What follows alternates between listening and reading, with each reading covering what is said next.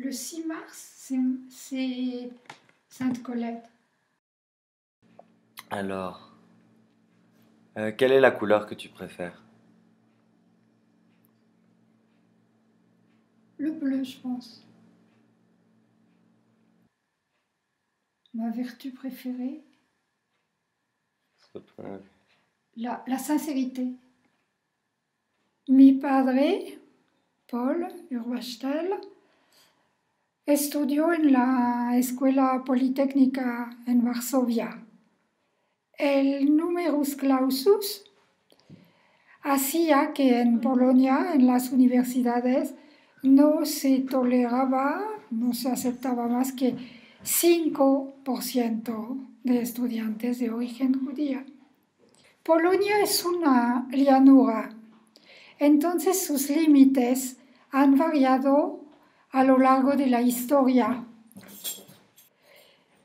Los uh, vecinos alemanes y rusos uh, invadían la Polonia sin cesar.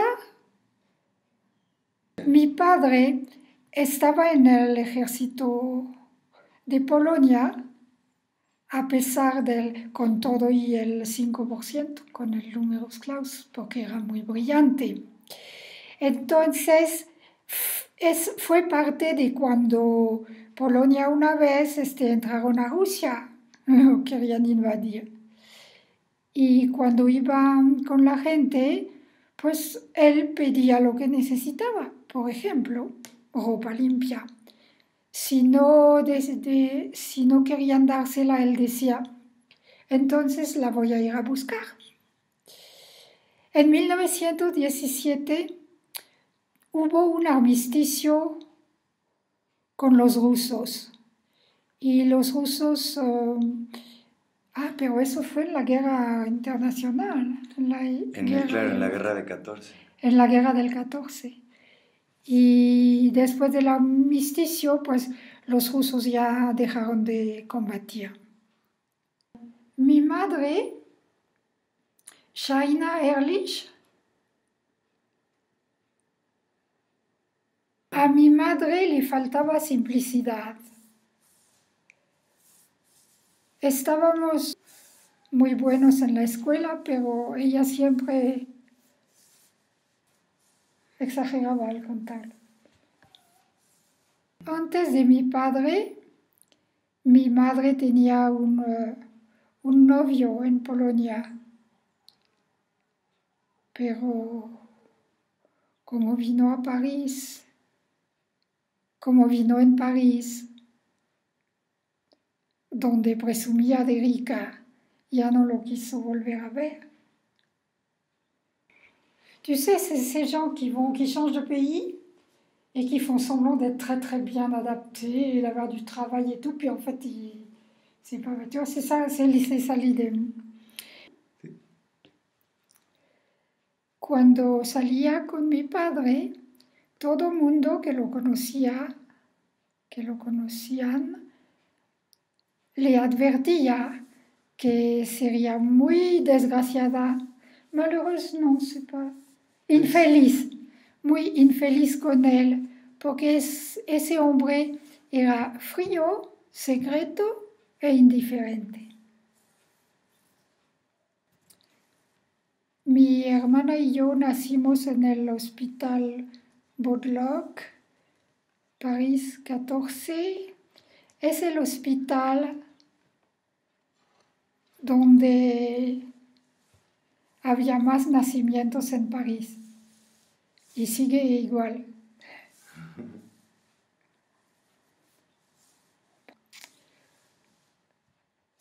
En esa época y en ese hospital no, no les importaba lo que sufrían las mujeres para dar a luz. Em, bueno, pues esa está. Ya pasamos a los gatos. Ah. En los años 30, mi padre trabajaba en una empresa que todavía existe, la Sombra. Eh, él era ingeniero pero trabajaban, pero lo pagaban como mecánico, porque era extranjero. Y cuando necesitaban algo complicado de una máquina, algo que no funcionaba, le venían a buscar a él, que lo arreglaba. Ah, cuando la guerra, los ah, dirigentes de la empresa lo querían enviar a Lyon porque no podía quedarse en París trabajando para una empresa que hacía armas. Pero no se quiso ir y perdió su empleo. Lo, tenían que, lo querían que mandar fuera porque era extranjero, se entiende, porque era la guerra y los extranjeros pues tenían que, se, tenían que luchar contra los extranjeros porque no se sabía si Francia había perdido tantos hombres jóvenes en la guerra del 14 que los franceses no tenían la menor ganas de hacer la guerra otra vez. Desde el 70, la guerra del 70, no solo del 14. Francia había perdido tanta gente en la guerra del 70 y después en la del 14 que, porque hubo de guerras, hubo la del 70. Eh, las empresas que tenían que ver con armas no podían emplear extranjeros durante la guerra. Entonces a mi padre, mi padre se fue a se fue primero a Nemours y después a Senlis y dejó primero a Nemours y después a Senlis abandonando la empresa, saliendo de la empresa. Bueno, en Nemours había un jardín grande, había un jardín grande con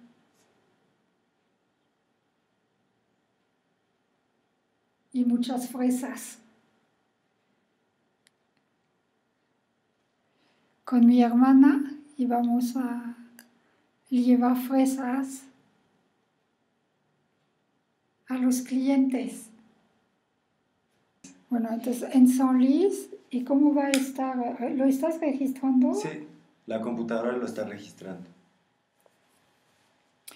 rentaron una casa bella y grande en un cruce de caminos.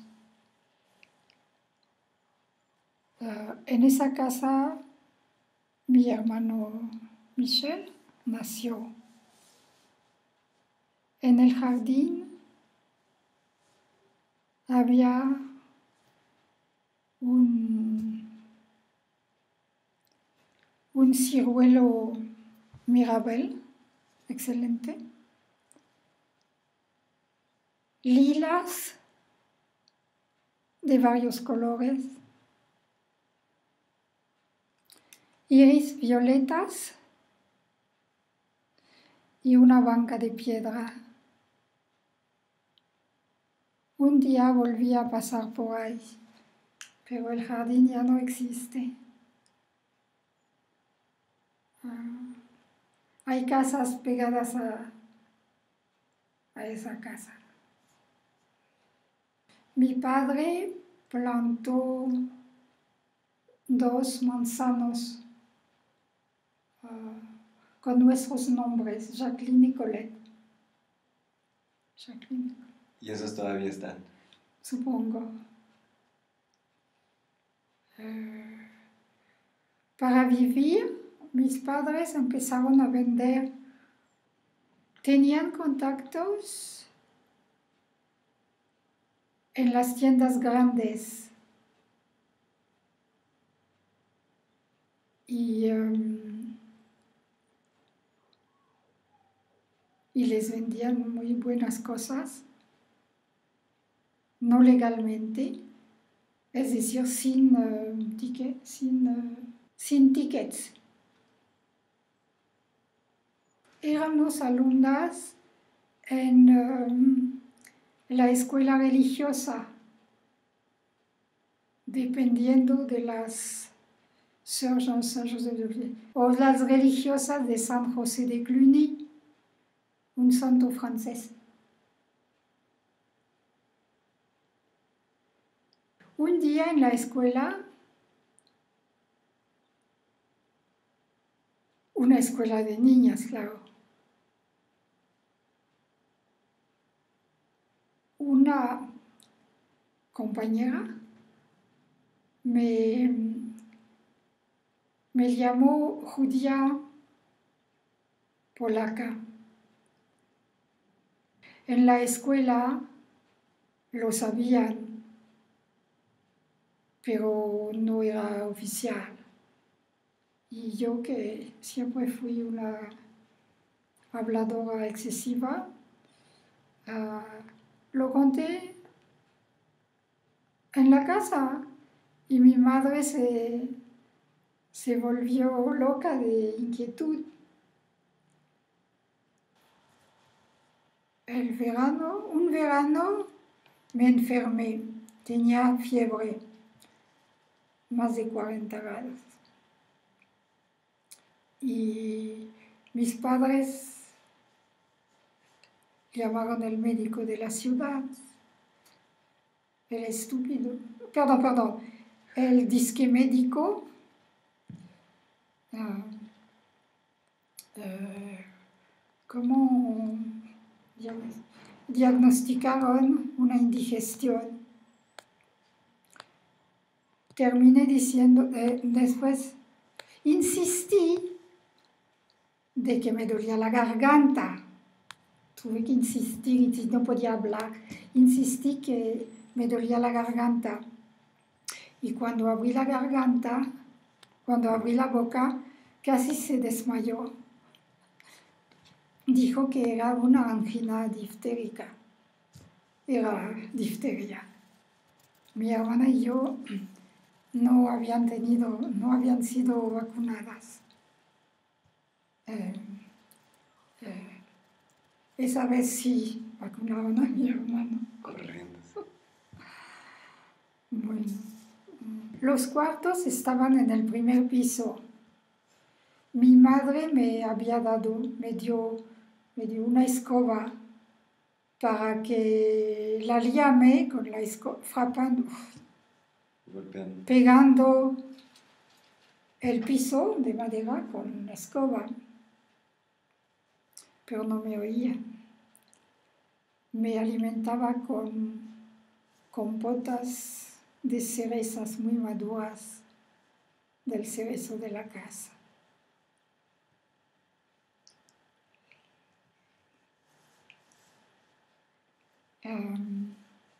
lograba tragar un poco del jugo.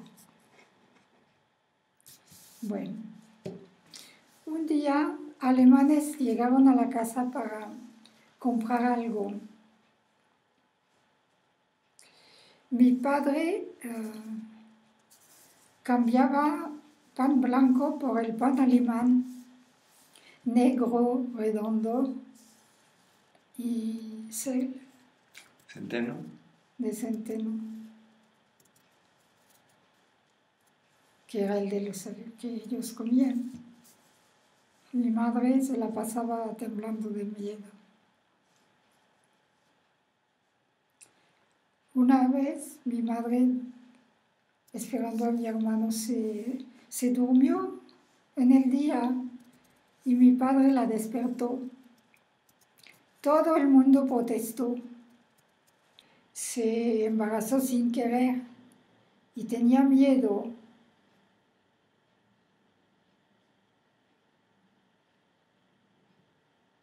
porque había tratado de abortar y no lo logró. Así que tenía miedo de haber dañado al bebé. Bueno, ¿qué más? Cuando los alemanes fueron a combatir a los rusos, abrieron el segundo, un segundo frente tout le monde est inenvahissable à cause du froid. Si, c'est vrai. Todavía no lo sabían. Qué imbéciles.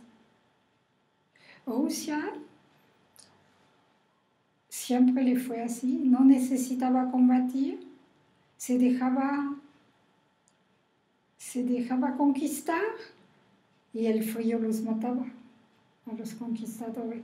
Eso pasó, no pasa todavía, ¿no? no. Esperaban, no combatían.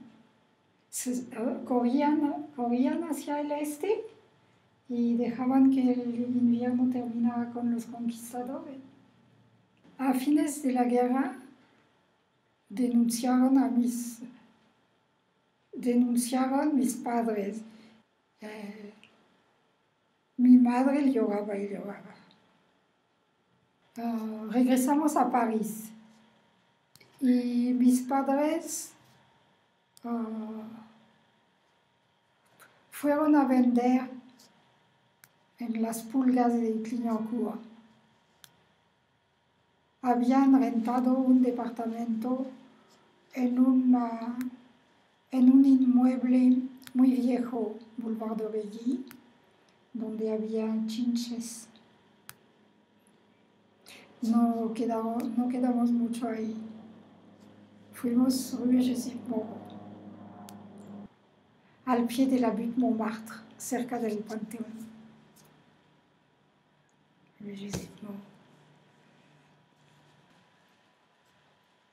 Íbamos al Liceo Jules Ferry, Plaza de Clichy, a cinco minutos a pie de la casa.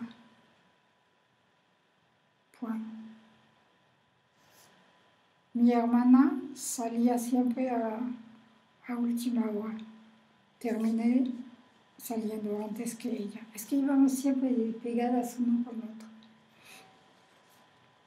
Michelle iba al liceo, en el liceo, iba al liceo Chaptal, Metro Rome.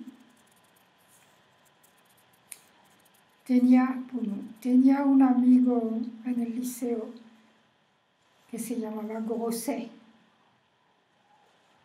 Era muy alto cuando, cuando mi padre lo encontraba,